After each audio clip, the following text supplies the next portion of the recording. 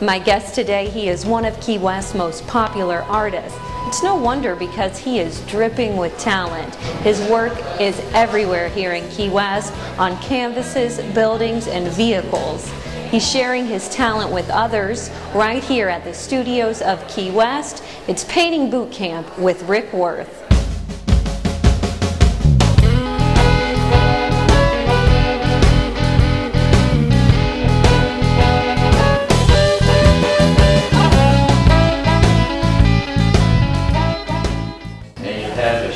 Side to you and you have a lighter side to you. This is how I teach the class. All right. What becomes like boot camp in here is like, you know, let's go, you guys. We're all in the trenches together. Let's all. We're going to make it through. We start drawing here in a few minutes.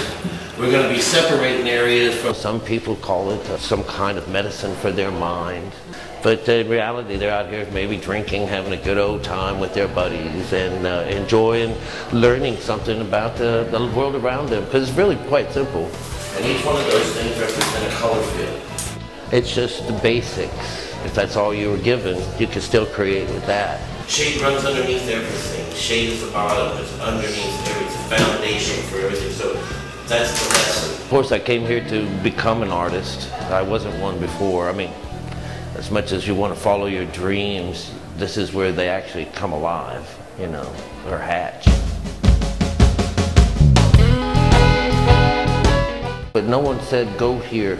Nobody said, just all of a sudden I was just kind of like on my way here. I bought a bicycle, I put it together in Miami and rode it down here. And I made it to about as far as like this uh, with the Dolphin Research Center and I gave up.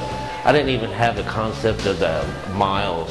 I only had like 29 or 30 miles left to go and I had just given up. I couldn't, pay, couldn't go any further. I think I had $18 in my pocket, showed up at the M&M laundry, did my laundry and got a job the next day at Casa Marina and everything just falls into place after that, you know. And of course, it's been quite a few years now. And even though I don't know why I came here, I know why I'm here. To share, you know, once I learn something, I give it up. But after a while, you'll learn that you can make something up. You know, you can put a bunch of things together. You can be more surreal. You can paint like we do here in these paint-alongs, which is simple little lessons.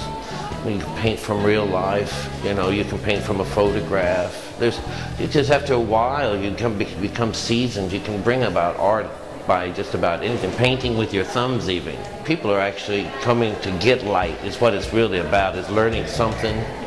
And a good teacher can pull it out of them because you're not really teaching them, you're really just showing them what they already know. You know. Once you get tuned in, you know, you're supposed to be able to dance and sing and play the guitar.